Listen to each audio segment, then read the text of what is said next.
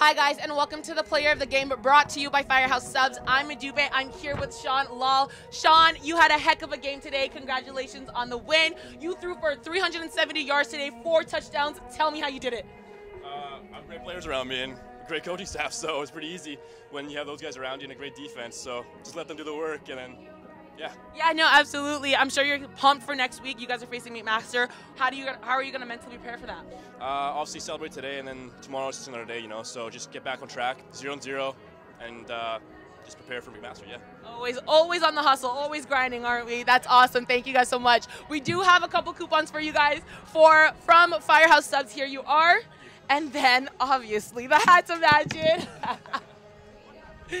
Congratulations on your win today. Thank you guys for tuning in.